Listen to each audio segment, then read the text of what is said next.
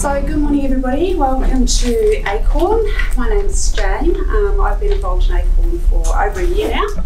Um, and um, we're just a small group of energetic people who get together weekly and we co work and we have guest presenters and we also run a business mastermind once a month where we help each other out on what are our business, what are the issues we have with our businesses and um, you know, what, how can we share our knowledge with each other.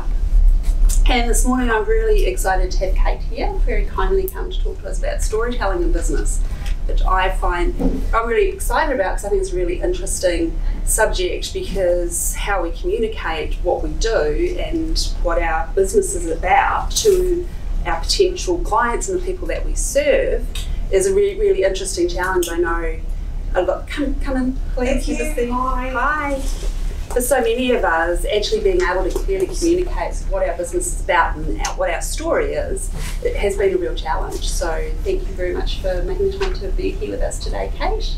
Over to you. All right, thank you. Welcome, everyone.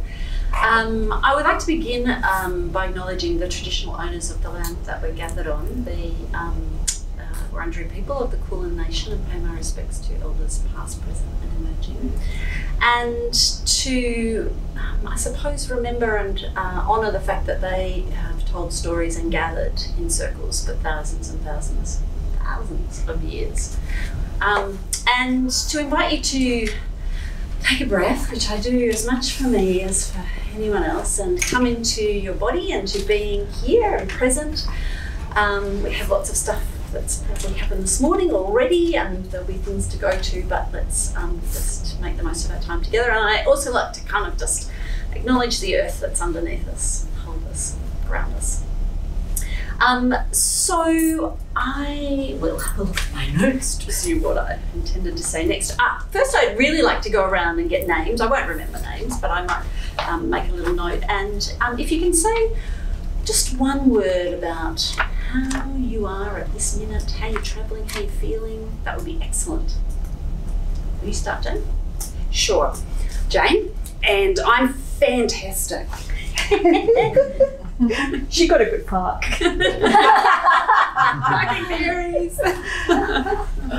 I'm Sean, and I'm ready to absorb all learning soon. Hi, I'm Rena, and I'm great because I caught the bus. I'm Craig, and uh, I'm fantastic too. Uh, we had a women in business luncheon last Friday, and we've done and dusted that, and it went really well. So uh, I'm feeling good moving forward. My name is Aisha, and I feel grounded today because yeah, it's I'm Lynn, and I feel refreshed. Meet new people. I'm Corey, and I'm enthusiastic. I'm Jenny and I'm energized. I'm Matthias and I think I'm challenged. and I'm Lisa and I feel excited. Fantastic, you are all brilliant. That's wonderful, thank you. Um, so, uh, storytelling's innate in humans. It's part of our DNA. We all tell stories all the time. it is a stretchy word, and we'll talk a little bit about you know which word we're talking about. But um, we speak in narrative. That's how we explain to our friends and family what's happened to us. And when we have a big story, um, oh, we do this all the time, but it's more noticeable when we have a story, something significant has happened to us, and we tell that story over and over again. We tell it to our mum, we tell it to our partner, we tell it to our friends. And each time we're telling that kind of story, there's a little part of our brain that is unconsciously kind of seeing how the story is landing. If someone laughs, then the next time we might sort of uh, ramp that up a little bit, see if we can get a bigger laugh. Or if someone's a bit shocked, we might even make that more dramatic, or we might close it down if we didn't like the reaction. And often we're doing that unconsciously, but what we do when we um, become a storyteller is to consciously look at that process and to look at how we shape and present a story about what's happened to us for a purpose often. And humans have been doing that for thousands and thousands of years. We tell stories for history, religion, to explain things, to teach lessons, morals, um, to entertain, and to not feel so alone. And to sell or to present why we do what we do. Uh, and that's what we're here for um, today. Um, it's a really tight, like, this is going to fly by in an hour. So um, I do two day workshops. I could talk about this for hours. So you'll only get little bits and pieces. Um, and it is interactive. I'll talk for quite a bit at the start, but ultimately, um, I'm going to be inviting you to choose a moment from your uh, lives and that relates to your business or your purpose or whatever you're doing and get you in pairs sharing that. Uh, and hopefully, we'll do that more than once so that you get a little bit of practice at telling that story. And um, I would also invite you, I say this now just in case I forget, but I'll, I'll keep trying to remember it. But when you do come to do that pairs work, stick your phone on and record yourself. Because then you'll have captured in an oral version something that you might want to write down and refine and finesse, and you'll capture. If you do it twice, you'll you'll you'll, you'll get the differences because sometimes in the flow of things, words come and they sound great, and we want to remember those. Um, so, um, uh, as I said, uh, story is a very stretchy word from anything that might be in a full on movie to a, you know, very well crafted personal story to an anecdote about your cat vomiting this morning. Um, and we're, um, we're going to focus on um, uh, purpose because purpose is crucial in, in good storytelling. A cat vomiting anecdote often doesn't have a purpose unless we're using it in a metaphor. But so there's this level of storytelling where we tell to simply be heard, to, to, to explore our experiences, and then there's this next level where we're crafted And purpose is crucial in that crafted, but no more so than in business. It, it, it, telling stories in business absolutely needs to have a purpose, and it needs to have a relevant purpose. Um, and a purpose that, you know, the closer you can get to it being meaningful to why people have come to hear you, the better it, it's going to be. Um, the best stories have emotion, but um, in business, sometimes a good case study will pass as a story or an example. It's still narrative, it's still um, embodied and in people's lived experience as opposed to abstract. Um, to be perfectly honest, I haven't taught business storytelling. I have taught a lot of storytelling. Um, I've done a lot of storytelling, both folk and historical and personal. And so it was a great challenge for me, because I have a business, to then um, look at and apply to myself. I'm going to tell a story in a minute that um, uh, I prepared that I'll be using later. Um, but uh, today we will focus on personal storytelling, partly because it's what I have experience in, but also um, people really do want to know who you are, and personal storytelling it, it embodies that. But if you want to explore a story that's to do with your business or your some invention or some product, it's this this process is here to serve you, not uh, me the structure of story applies. The, the, the good parts of a good story are, are, applicable whether you're talking about a product or whether you're talking about um, yourself. Um, and we'll focus on oral storytelling uh, because it helps your writing. It helps um, you be real in your writing. Um, I'm, I'm, worried about talking too much. There, there's lots of in business storytelling. There's every book you pick up will have its own taxonomy of stories. And for example, Annette Simmons, who wrote The Story Factor, which is one of the original kind of storytelling in the workplace books, she says there's six stories. Other books will say there's 12, some will say there's four. Uh, just to look at what she says, she says, Who am I? Why am I here? Your vision story, your values and action story, teaching stories, and I know what you're thinking stories. I'm not so hung up on taxonomy, and I think that often one story can do all of those things, and one story is imminently, um, it's like plasticine, and you're going to go and uh, tell it in a keynote speech or as a workshop, and you can, you know, stretch it out to five or ten minutes. You're pitching in a two minute pitch, and you're going to make it 10 seconds if you can. Like, it's, it's really hard. Um, so, but your audience and the purpose of your story must always be at the forefront of your mind in um, getting ready to tell it. So, I'm going to tell this story. Uh, it, as I say, it's at the moment it's way too long, and I've even you know even cut it in half on the way here. It's like yeah, get rid of all of that. Uh, But for about 15 years ago, I was uh, a, a legal aid lawyer and I was based at Sunshine Magistrates Court, and my job was to sit in this small, white walled, windowless office and to see the long list of people who were fronting court that day. It's a very modern building, it's a bit more like an airline terminal than a courthouse, the Sunshine Court. And most of the people would be pleading guilty, and so my job was to gather information to then speak on their behalf in court to get the judge to soften the penalty. And one day I had this guy come in. He was probably late 30s and he was facing his second drink driving charge, which the court takes very seriously. And he came in and he sat down and I started to ask questions looking at his history. He said, I don't want any excuses. I did this, I'm guilty. I, you know, I don't want any excuses given to the court.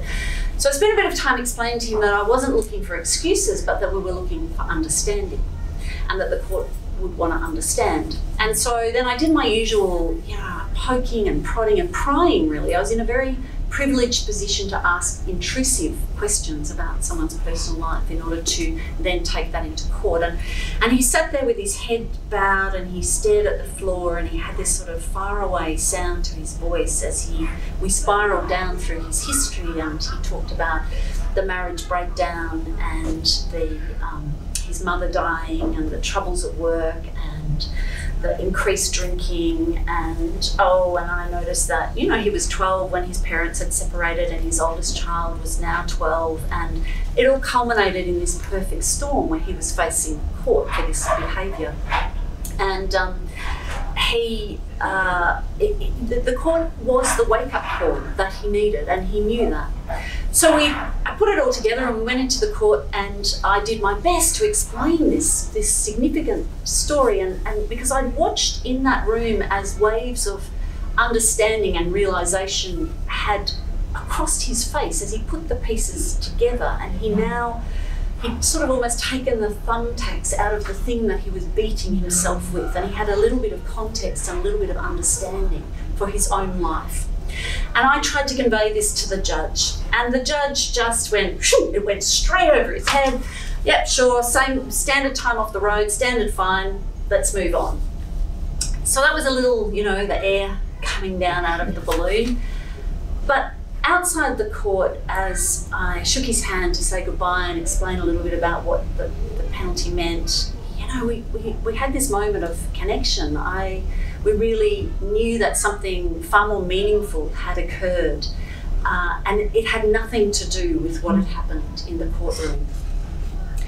Um, and I tell his story, but it's not an aberration. It was it was typical. That was the process that I engaged in in the court in in that in that room in order to explain people's lives. And um, sometimes judges heard and it, you know, it landed with them and they address it when they spoke to the, the, the defendant facing court. But too often it just it just went flying by and the magistrate and the court missed the point. And I think they missed their purpose in the work that they were there to do and, and my work as well, which was to see the humanity of the person facing the court to be rendered invisible, to um, be dismissed, to bear an untold story, uh, to not be uh, heard, is one of the cruelest things we can do to people. We know that children um, will muck up, will be naughty, will risk getting penalised in order to get attention rather than have no attention. We all need to be seen and heard and to feel like we matter. Which brings me to the work that I do now in organisations. We spend an enormous amount of time working in our adult lives, and a lot of us spend that time in organisations. And so I've pulled together um, that experience with the law, but also I went on to be a facilitator, design group process, a storyteller, and um, create a, an organisational program that creates story as part of the culture of an organisation so that we have places to be heard, to emotionally express ourselves, to be authentic, to have reflective time, and to then share that. So, because um, we shouldn't have to go to court to look at our lives and to be heard. So that's the story. It's too long and it's, you know, got um, uh, you know, some finessing around the edge. But I thought I wanted to tell a story so that we could see where you you know what what my approach is to storytelling. Um, you know, in a pitch, I'm going to have to somehow reduce that and get that emotional heart of that story, which is really hard. But when I started, it was a probably a 12 minute story, and you know, I'm getting there, getting there, getting there. It's a work in progress. Um, so I want to now talk about some of the elements of story, so that you and um, so that you know what you're looking for when you're thinking about your history. Um, a story. The most, the biggest thing a story needs to have, and the biggest mistake we often make, is that it must have a scene. We have to, people have to see something, a place, a person, because we live in moments. And so often we tell stories that are um, skating across the surface. And I could have told that skating across the surface and said that's what happened with lots of clients. But I needed, in order to emotionally connect with you, in order for you to see and to really be in the moment where I felt what I felt, I have to take you into a place. And so that's the most important thing that I, I want to get across. Um, uh, it, it needs to have emotion. Emotion really is the thing that we can relate to. Um, that is the universal, that is the heart, that is the connection, and the thing that we'll remember. It's also the scene that we'll remember because you'll all have some, it'll all be different, but you'll all have some scenes from that story I told, whether it's in that office with the guy staring at the ground, or whether it's standing in the corner, whether it's outside when I'm shaking his hand and we look at each other in the eye. You'll all have some scene or image, and that's what sticks with people. Um, so, uh, the other significant thing is that it needs a point, it needs to segue into your purpose in business. And um, so I've segued that. It's a little rough and it'll get smoother. Um, and the other thing that it will have that you want to recognize is that there's a theme or values underpinning. So this, the values underpinning that story I told is about is about my approach to treating humans as as valuable and and um, seeing the human that's before you. So that's a value underpinning that story. Uh, and you'll have values underpinning your stories, and they're really important. Um, you know, Simon Sinek's always sort of people do it by what you do, they by why you do it. People do it by what you do, they by why you do it, and that's embedded in the values that's in your story. So, um, any questions so far? You're no longer a legal aid. No, No. no. In the in the longer version of the story, I, you know, I talk about leaving the law, but yes, I, I um, yeah. And how long should a story be? You're saying that's too long, I mean, you had us all engaged and it was all fine, but I guess if you're in an elevator going up the Yeah. elevator pitch story, Yeah, the, look, elevator pitches are different from storytelling. They really are. Like, um, this is the sort of storytelling that I think you might use um, in, and I, I can condense it down. I have done, but I would not get the emotional heart of that story. Um, y- you know, I have talked about. Um, when I was a lawyer, being you know in a really privileged position to ask very intrusive questions of people, and I would watch as they gathered insight. Yeah, it's Surface Yeah. level. yeah, but it, you know, it at least gives some context to who I am. But it's not a story for me. Yeah. Um, uh, and so we're not we're not here to learn about pitching, um, but you know, getting people engaged in a really short amount of time. It depends on the context. It depends where you're. If you're if you're in an elevator, I would be just going straight to the what you do, um, uh, and the why. You know, is almost a visionary story. Um, this kind of story would depend if I have a 20 minute window. You know, I might be prepared to take five minutes. And, and that story I can easily get down to five minutes. It might, I, I'm not sure how, you know, it's probably around six. Sometimes when I Yeah. tell it, it's eight. Um, but uh, often in pictures, you, you know, I'm wanting to get that down to three. And I, I think I can get that down to three. But it is the build up that takes us to the emotional heart of story. Um, And as a storyteller, I also have a little bit more leeway because I'm talking about story. I think I have a little bit more leeway to in, to ask my audience to indulge in listening to the story mm-hmm. um, because I want to I want to show my wares in a way. Mm. I actually have a question. And maybe we might need to take this outside of here as a question, but I was really intrigued by your comment about moving from the unconscious to the conscious mm-hmm. in terms of the storytelling. So it's kind of like the, pra- the practice and paying attention to what you were already doing, but doing it consciously and paying attention to how people react. Yep. And being thoughtful about how you might then tweak the Yep. story. Yep. Based on the response, whether you got what you got the response you wanted or not. Yeah, absolutely. So I'm just interested. Is there any more you can tell us about that moving from the unconscious to the conscious? Is it It's it's what anyone who addresses people, you're learning to read an audience. Yeah. And you you do it in one on one, but as a storyteller, there's a there's a listening that happens with storytelling. I'm listening. I, I can feel when you are with me in the story. Mm. And if I'm telling a story and a little worm of doubt gets in my head, and I'm going, oh, they're not listening, or she's nodding off, and then I, you know, then I sound like a wooden, and then I just start to lose people. You know, it's it's a downward spiral from there. I've learned to rise. You know, you, you, learn. It's a, it's an art of listening to the story, um, listening to your audience, and reading your audience, and and the same story told the same way can fall like a flat pancake in one audience if you're not reading it or um, than, than another. So it- it's it's something that you get with experience, but it is about being conscious of you're always got an audience. You're you're always in conversation with your audience, even if they're just listening. They're showing,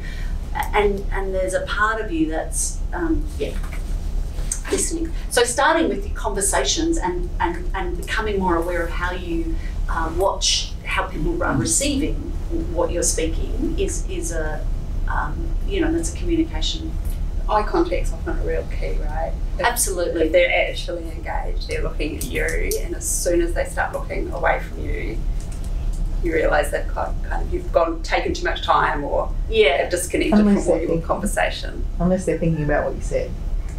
yeah or Because I know unless that you say something and I'll go, oh, how does that apply to me? That's not necessarily losing me. Mhm. Or is it? I don't know. uh, say that again sorry Well, if, if you if you give me an example and then I sit there and internalize it, thinking, well, how did that apply to me? I'm going to look away. That doesn't. I mean, that might mean you, I've lost. You've lost me for that minute, but it's. Yes. But I'm engaged in. but you can tell that yeah. you know we can Yeah. tell that you can tell when someone's looking beyond you and scanning the room like I just want to punch them in the head when they do that um, anyway, I'll keep going because I want you to get some of the basics of uh, the story structure. So I'm going to do this on the um, board because it helps to get a visual. So some of you may have studied this at school. It's always good to have it um, reminded. I didn't study it at school. I don't know why. They never taught us the basics of storytelling. Um, but story has, and there's looks, loads of different people have different uh, parts to story, but essentially it um, I kind of do it in this type of shape. Sometimes people have it going up and up and up. There's five parts. The first part is set the scene, and um, that is where you. Um, well, I'll start. I'll actually start. So you start with a moment, and the moment is usually the climactic point, which is here. That's what you, when you start um, thinking about your story, and often people say, I've got no stories. And I would say that too. For many, many years, I'd say, I've got no stories. And if you ask me to tell you a story on the spot, I, my mind goes blank. Because I'm, Good I'm to kind of. know. Pardon? Good to know. Absolutely. Because I'm looking for this thing that's got a little label saying story. Yeah, it's got a beginning, middle, and end, and it's all neatly wrapped up. But that's not how stories work. They start from tiny moments and we build them out. And we create a world, and, and, and memory begets memory, and that's why you need to practice this, and, and it, it's a craft. Um, so you start with this, this moment, and then you have to set the scene. You have to create the world where that moment, this moment might be an epiphany for you. That if you just told someone this, they go, yeah, so what? Yeah. But you're taking us on a journey so that this moment we're there with you. We're feeling what you were feeling, and we're in this world. So when we set the scene, we're orientating to people, place, and, and time and context. Um, and you can do that with a few choice um, descriptors. So I used a few choice descriptors about that man. I could have gone into detail, but I just talked about him being in his late 30s. I, I, I tried to give you a sense of him being in this reverie, because that's the image I remember of this man staring at the floor as he was thinking about his history. Um, I also tried to give you a sense of place, but just mentioning it's a bit, you know, using a metaphor. It's a bit more like a an airport um, scene. So that gives you something to think about: big spaces, long sort of corridors. Um, and time and context. Uh, I think I mentioned it was about 15 years ago, and then you know my role there. Then, um, then you have this. This is this is uh, this is where this is the like it's invariably known as the inciting incident, or the the essentially something happens one day. So you create the world, and then you go one day. And I created the world very quickly, and then one day this this 30 year old man walked in. So I'm still kind of setting the scene, but he's, you know, you're morphing between setting the scene and the inciting incident, which is him um, not wanting to tell me about, uh, you know, his history. Then we go through, then we have this series of, um, this is the, the next bit, which is the rising action. So from the one day, we get a series of things, and you'll you know, there's a whole ton of things that might be in here. Your job in crafting is to choose what's relevant, is to choose only what's relevant, to create the context where the climax is climactic. And um, the more you, you know, I know that with that that story, even as I was driving here this morning practicing it and I was thinking about our conflict, right? So I, I wrapped up in the story the magistrates like dismissing of that. I, I made it, I just, I just expanded I just made it more important. So you're always kind of um, expand, you know, honing in on whatever is dramatic and making it more dramatic. Making, because you're, you're always got this seesaw of tension between there was a good something happened and then there was a bad something happened. There was a good something happened and a bad something happened. And the, the, the gooder it is, the badder it is. Like and, and that, you know, expanding the gap between the good and the bad is your dramatic tension. That's your story. So and, and so and, and you know that happens with practice. It's a practice. It's an art. And then the hardest, absolutely. So this is for the climactic moment, and it's um, uh, sometimes it's an all is lost moment. Like th- that then became so in that story I told, it's almost like the magistrate dismissing and not hearing is the climactic moment. But it's taken me a little while to realise that's the climactic moment in this story, um, because I'm, yeah, because of where I'm going. And then the fifth point is the resolution of the story, and this is by far. And then with business, you're kind of transitioning into. Uh, Sure. I wondered about that. I'm a bit loud. I used to shut the door in my office when I was on the phone with clients. Um, so, so this part is where you're you're leading into your business purpose um, and why you do what you do. And um, even in, if you don't have a business purpose, this resolution is the hardest part of the storytelling. It's where you land. So you've taken us up on this journey and you have to bring us down to this, this sort of satisfying whole that is a good story, where we go, yes, that is how life is. Yes. Um, and, and so the resolution has um, usually hope in it, and the hope might be your business offering, is the hope. Um, uh, it depends on you know it depends on a lot of things as to what what your story um, is or how it is. But as soon as you and I don't you know with the story I just told, at some point where we've left story and we're in me lecturing you about humanity, where you know I started to talk about people need to be um, heard, and so I'm, we're out of story. You'll tolerate that because it's a business story but I would rarely, uh, yeah, um, unless I'm heading in this direction, I, I wouldn't have been so obvious with it. But you have that option as business people. People are wanting you to, to then be, to move out of pictures and, and lived experience into um, analysis or solution or to the other side of your brain. Um, so, the other two things that are sort of um, uh, part of storytelling is is the beginning. So, sorry, that's badly spelled. Knowing how you're starting your story is really helps you orient yourself, but also helps your your audience orient themselves, and you want to grip them uh, from the beginning. Some people start here. Uh, I, I tend to be a very literal narrator. I, I go in uh, chronological order. But some people start here and will go back there. There's lots of different creative ways. I would suggest you start chronologically until you um, uh, got a sense of how you might want to play around with it. But either way, the beginning of your story is significant because um, often once you start the beginning and, and, and, and often you'll maybe have two or three things you want to say at the beginning and you need to remember you need to practice and remember them. And the other is is the ending. So I'm trying to end my story, and I haven't quite got the right words, but I will get very set words about ending my story, and it's to do with. And I played around with it, you know, so people shouldn't have to go to court to be heard, and or, or you know something along those lines. I'll get a, a neat little landing phrase um, that uh, will bring the story home. Well, that's the aim of it anyway. So, any questions now?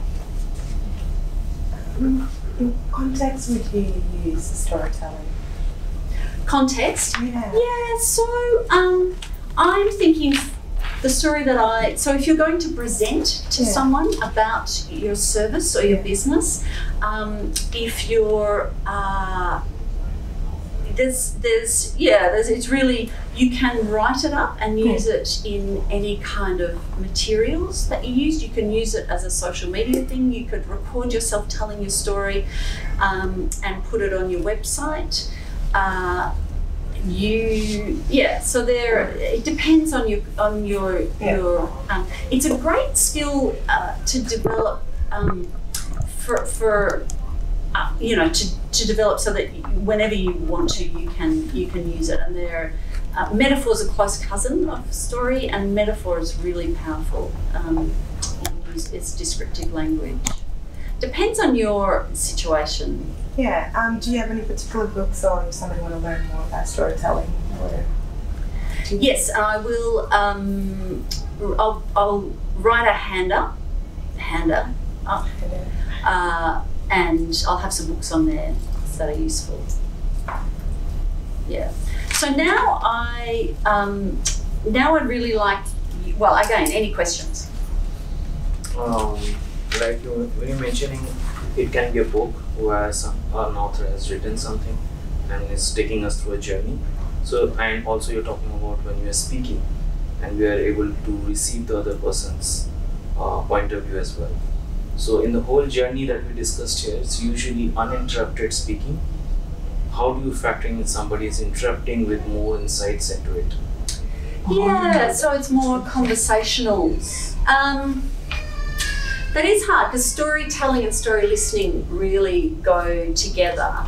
Um, it, it just becomes more conversational and you stop your story mid and then if they're still listening. But it may be that you're completely derailed and the conversation goes off in another direction. Um, this sort of storytelling, I suppose, is in order to get to the point where you have a story, you have to craft the story and practice the story or think about how you're going to present the story. And then, if you're interrupted and if you know your story well enough, you'll easily get back into the point where you, you're going to go. Um, and it will uh, be as successful as the context that it's in. Um, yeah. And uh, do you keep multiple stories? Like, uh, should a business person have multiple stories the back of their mind and understand the audience first and then bring out the best thing that suits them? Like you mentioned, the people, place, time, and the context. Based on these, to say what makes sense to them and then go about it, or would you recommend saying the story to multiple people, knowing that, uh, okay, the whole set of people are not my audience, I will definitely match with maybe a section of the whole crowd, and they will definitely listen to me. So I should not be thinking about where I'm pitching, but what I'm pitching about. Yeah, I think that that from what um, I understand about pitching and um, presenting to an audience, that you you want to bring as many people on the journey as you can. Story will capture nearly everyone. A good story, well told. Uh, it's when you move into the, the purpose and the business and the intention of your presentation that you know you're only going to resonate with so many people and they yeah you- you're addressing the people who you, you're you're going to resonate with the most. In terms of your first question um, which was about having a series of stories in the back of your head absolutely. Um, and they uh, th- they might be very tiny moments and stories um, and they're really sort of anecdotes or illustrations or and, and that's what I was talking about about how any business book you read will have these this taxonomy of stories um, and I'll, I'll you know again I'll go because they don't vary too much from um, Annette Simmons taxonomy which is but, but but I tend to think you know if I look at the story I told I think it tells you uh, about who I am. Um, um, you know about why I'm here. It, it tells. It, it, uh, I mean, it's. I could have more on the vision. You know, I could. I could talk more about the my vision for how my program would unfold in an organisation. So I could have more of a visionary uh, story to it. But vision ultimately is is is fiction. You know, we're, we're making up a possible future. Uh, so it's a different kind of storytelling. It's clearly got my values in action. Um, it's not so much a teaching story. I, you know, I do have a lot of teaching stories.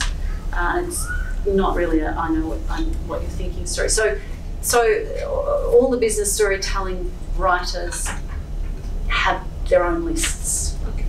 I don't have a list. I do think that some of the, the choices that you have, and sometimes they're either or, and sometimes they're just a, a shade. You know, you've got a choice between telling your personal story and be telling the story of your business um, or the story of a product or, or a service, which it gets harder to embed the human factor in those stories without it being your story. Um, you you have a choice between telling your own story and a customer story, or telling your story and a research or a data story. Again, they're, they're choices you can make. Um, you, I think, I don't know if these are choices, but there's a values um, problem, like looking at your client's problem and talking, telling a story about the problem and how you solve the problem, uh, or the vision. Um, you can tell a, you can make a fable. You know, you can tell a fictional fable type story, um, as, or you can even tell a folk tale or a wisdom story that reflects, you know, what something that you want to say. You know, starfish on the beach, kind of.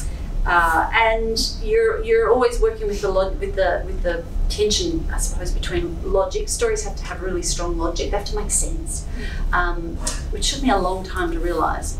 But but but also the thing that is memorable are, are images, scenes, seeing something, and emotions. Um, which is really hard to do in two minutes or three minutes. Um, there's a great, uh, I'll, I'll put this on the um, uh, handout, but there's a great uh, podcast called from, from Anecdote, uh, which is a Melbourne-based storytelling um, consultancy, uh, and they have every week they whatever they do they have you know they have little stories and you can you can take their stories and use them and if they resonate.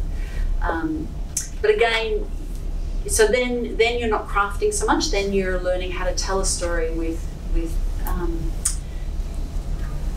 your using your voice, using your um, uh, your own language, using metaphor, um, and that's a that's a next level of telling your story. But I really want you to have a go because I you know that you won't learn if you don't do it. Um, and so, does everyone? Um, so I'll just quickly. So what you're looking for when you're looking for a storytelling moment is something that's pivotal, something that's a turning point, something that's like an epiphany, um, some journey where you changed. Um, failures are great uh, food for stories. where something you want something that's at stake or something where there was high emotion. It might be from six months ago, six years, or when you were six. It, it really doesn't matter. Um, and uh, um, as I've mentioned, memory. You know, you pull on a thread, and the memories the memories come. Sometimes um, so stories have a way of actually choosing themselves. Um, often I've had people say, oh, I, I didn't want to do a business story, but I told you this story, and it's got nothing to do with my business or my work. And line me down if it isn't like the most perfect example. They just they, they couldn't see it, but the story knew, and the story. So I urge you to listen if there's a story that is pushing inside you, saying, "Tell me, tell me, I'm the one today, tell me." um, because you know there's something in it that will either surprise you that you needed to hear from yourself, from your history, or surprise you in in, in proving to be particularly. Um, relevant that you couldn't see, and that it might be a metaphor, it might be some other way. Um, so, uh, does everyone have something that they can work with? All right, so just take a couple of minutes to jot down, um, maybe going through this if it, if it works for you. Some people say, oh, that just, like, I thought I had a story and now I've got to fit it into this, it just confuses me. You don't have to worry about that, but just take a couple of minutes to jot down because then I'm going to send you off uh, in pairs to share your story. So just a couple of minutes to sort of dwell in your memory, make any notes about the, the moment. As long as everyone's got a moment, does everyone have a moment to work with? Then just pick turning point moment from your life. Huge, small, um, some memory that you think would be good to share.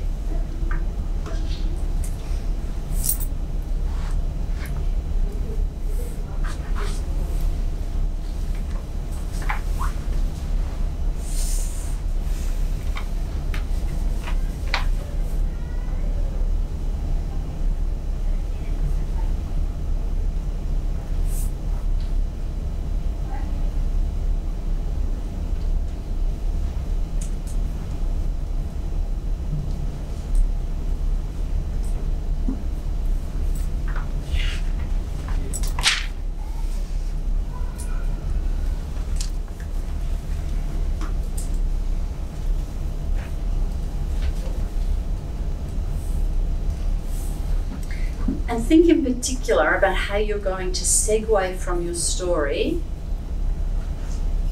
to your business, to your product, to your service, to why you do what you do.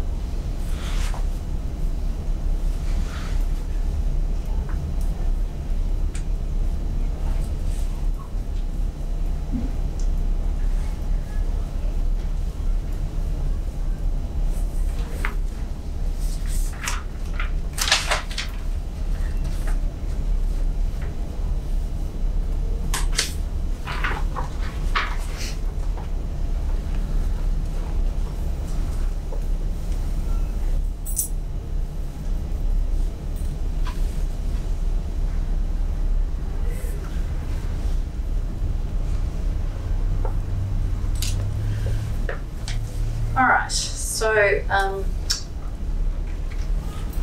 do you how do people have to race off at eleven? Um, I'd really love you to do this exercise twice. It just might take us a little bit beyond eleven, because it's it's forty seven, and you probably need ten minutes in one pair and then ten minutes in another pair to swap and tell your story twice. Um, but it does help to tell it again to a different set of ears. It just helps you shape it, and change it, and have a practice. Uh, so if that's okay, then um, that's what uh, I'll do the timing of. Um, Andre, are you going to join in doing this? Um, are there even numbers? No. There are, I can do it, the- make up the even numbers, or you can Yeah, make yeah, up. that's okay. You will, or me? I'll, I'll record it. Okay, okay, Raina's sure. got to go. Anyway, yes. Oh, Is that okay. all right? Yeah, yeah, yeah, that's fine. All right, we've got even numbers. All right, so, um, Thank you. so, yeah, find, yeah, just find a pair. Find a space in the room because it will get a bit noisy, and um, standing uh, sometimes helps you tell the story better. But it's up to you. You're able to get in pairs yourselves. And record. Remember to, if you can, put your phone here and tell your story Are just we to have written or are we just? no, no, you're just telling from audio. You can you can check your notes, but um, uh, you know I don't want you to write it. You are doing something that I spent days doing, so you know just tell it as it was and have know play and practice and record it so that you've got a record of it for later.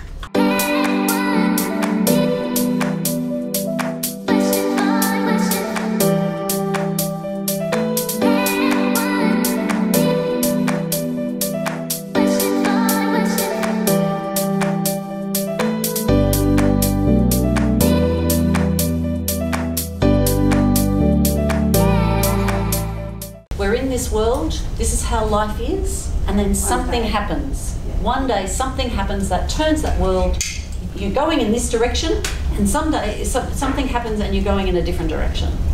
And then, in order to deal with whatever that inciting incident created, there's a whole series of steps that occur. There's a whole, um, you know, it puts in train all these things that culminates in the climax. So, it, rising action is just the things that happen between that that one day something happened, and this is how it resolved itself. Okay. It's not the resolution, but this is how it culminated Yeah. and and so it's just whatever happens in between and it's kind of usually it's building to to something it's building to this moment one day a client comes in and he doesn't want to talk about this so we then he goes down and then we build to um, the, the, the, the judge kind of, you know, going over his head. I mean, sometimes I can't tell what, you know, there's several climactic moments. It's, you know, it's not, it's not a hard and fast science, but you, you do need dramatic tension and climax, climax of some sort. Yeah. There can be a, several of them, I reckon. Um, does that help? Which, which makes it difficult when you have several, right? Because you want to have that, so it feels like a punchline, and then you have that last line to give to take away. Um, Yeah, and that that um, because the story I told, I'm still, you know, still it's still in process. That tightening of it comes from tightening the end. Because once you tighten the purpose of your story, you'll tighten your climax. You won't have several climaxes. Once I get the segue to the, um, or, or, or get the, the, the good thing, bad thing, um, whether the bad thing is the judge not hearing and the good thing is the, me and the man outside having this moment, um, uh, that, that, that then I don't have so many climaxes. I have a series of rising actions to that moment. Um, so the, the purpose or the it, it comes you, you, you will need to refine it. I mean um, there, there usually is one climactic moment. I'm wondering, do you mind if I share a little of this? no, no, go for it. Yeah. I'm wondering, with, in your case, if you could start setting the scene, saying, "Well, I cut my teeth in business doing the street food operation, and then I realised the value of working in partnership with others. I had a couple of successful business partnerships, leading to this decision to branch out on in business on my own. So you've got like the inciting incident is realising um, that it works better to work in partnership, and then you go, oh, now your climax is I'm actually going to set out in business on my own, and these are the things that I'm doing. Would that sort of fit that model and, Yeah. and maybe help to tell the story? Yeah. Yeah. So the the bit before starting the, the food business could be dropped because you're just talking about your business pathway. Yeah. Yeah. That's one one observation. There's Yeah, many no, no, ways it's to great. attack. No, no, it Yeah. definitely helps because you, you need to put perspective as to what to drop. Really, Yeah. there's a lot. It's Yeah, hard you're like, to. is this the, is this the thing that they need to hear? Yeah. They need I think this? it's just trial and error. Yeah. Oh, feedback's really helpful. You know, Yeah. getting that other perspective, Yeah. um, and yeah, it's it's really helpful. Um, yeah, so it's good. We didn't have time for feedback, and you've got to be careful with feedback because stories are very delicate little things, and you want to, yeah. my question is there's a climax and uh, in marketing we are seeing uh, a lot of a drop in attention span so how to make sure that people listen to your story so what is the build up to the story so you're setting the scene inciting the incident but uh, if i run through the example again the the best advertisements actually get you the hook into it to make you glued to watching it. You might be having a great story, but how to do that? Make it interesting and make them glued the first 10 seconds? Yeah, look, um, I'm not a marketer, you're a marketer. um, and it depends on what, what, what are we talking about? Are we talking about a video? Are we talking about uh, written words? Are you talking about a post on Facebook? Like, consider a written written post in that case. yeah, so I think you're, um, I think starting with people and scene setting, like give some people something to see and they will and, and, and, and then very quickly moving into action. Um, you know, we're in there. We want to know what happened.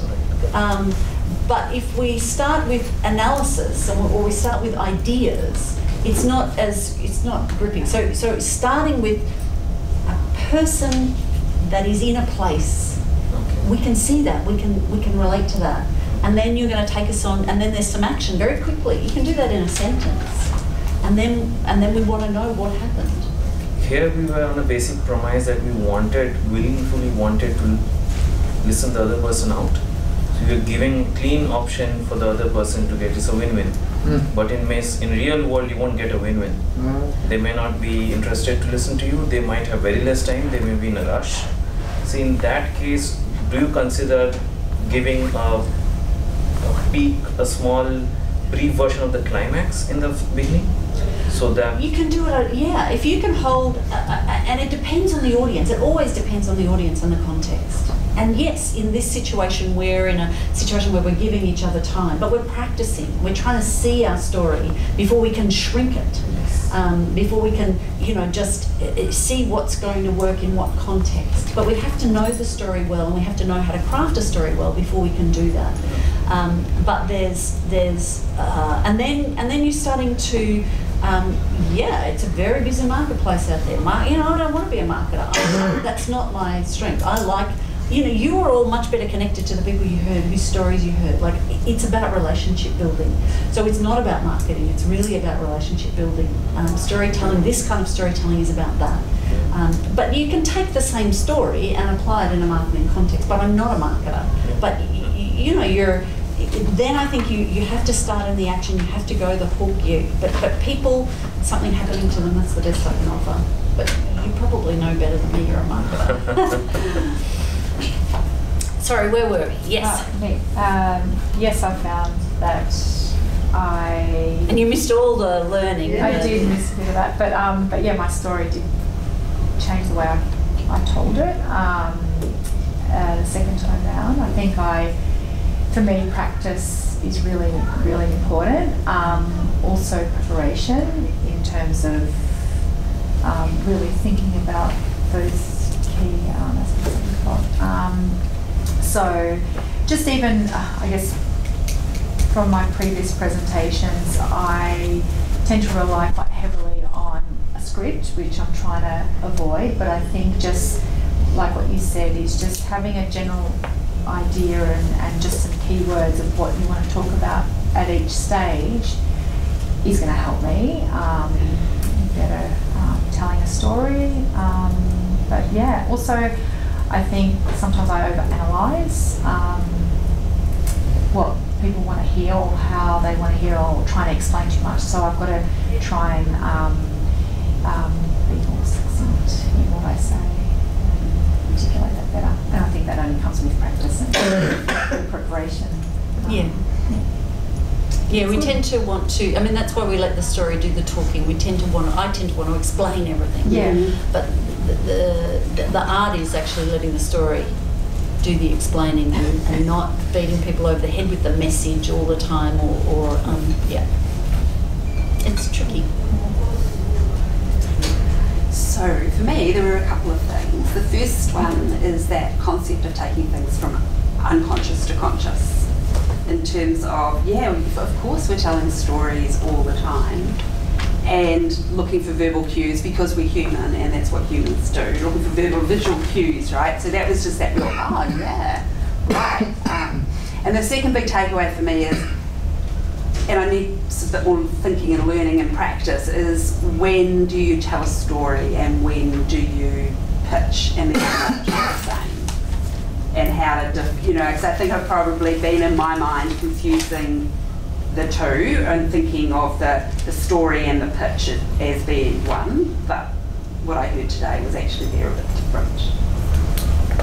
And when Yeah. to use them. Yeah, I think so. I mean, you recently went to a pitch thing. Was there a lot of storytelling? Was there much storytelling? Um, there was, yes, there was, in the sense of, I can't remember how long, it was Right. Okay. last year sometime. Yeah. It's probably September or something, I don't know. But it was, um, you had a set amount of time, and you, so people did tell their story. Uh, had I done this first, I would have much uh, done a better job. so, um, yeah, it was story. I mean, a- and can I answer? I've been one of the my mentors has suggested rather than the pitch of I help X do X because of X, she actually is. She her thing is to tell a story. So most of the time, if I'm if someone asks me what I do, I tell them about a client. And how fantastically proud I am of them. So that's a story. Yeah, And yeah. it's a, but it's really small. Yeah. And it's up to them if they want to find out more.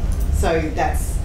Um, so I have, I guess, been using it to really think about it. that. Yeah, there's lots of different ways of approaching it, um, and you get someone who practices in business storytelling, and you'll get a different. But we, Oh, we've done what we've done, and I hope it's useful. I think having all of them. Yeah. It's all tools. Yeah, yeah, yeah, that's right. So we've just touched the surface. So unless there's um, but just one word wrap up, Sean, one word. Learn a lot. That's that's, that's two. Great. Great. That's not a word. um, interesting. One story. Enlightened. Ooh. Sorry, can I borrow that one? I was about to get a biff in the face then. That's my word. Exploration. Insightful. Engaging. Fascinating. I'm a bit challenged. Thank you very much, and um, yeah, get on with your Oh, thank co-working you. or whatever you're going to do for the rest of the day. Thanks so much.